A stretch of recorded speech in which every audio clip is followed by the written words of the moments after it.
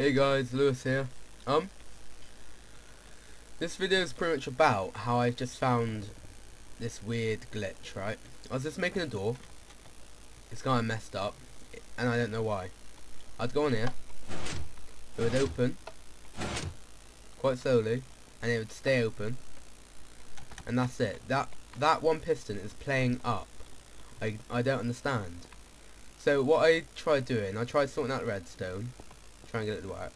And I found that if I turn that off, then loop it, it turns into like an on and off door continuous.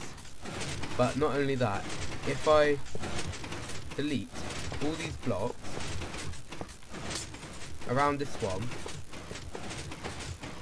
apart from the piston,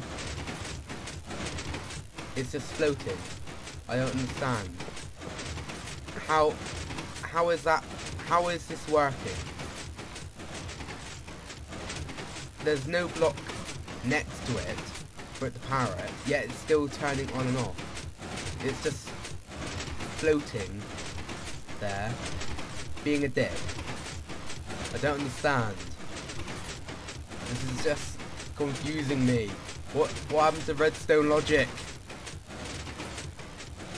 It's like Oh, I just don't understand. I, I think I'm just gonna kill myself now.